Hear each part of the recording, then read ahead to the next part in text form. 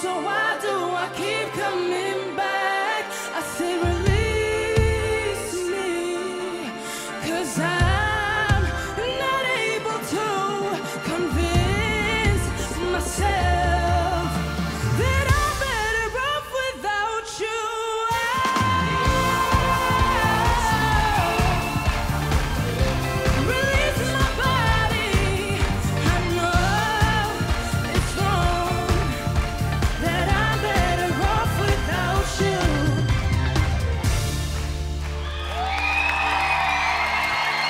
Cariato med Release Me. Alex, varsågod.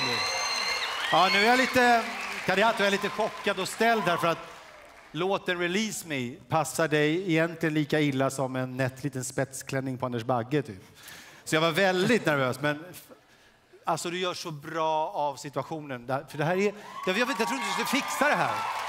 Det var, alltså, nu är jag väldigt imponerad av dig. För du vet vad jag, vad jag tycker att du ska göra egentligen. Det, och det är ju en låt till senare, kanske den passar bättre.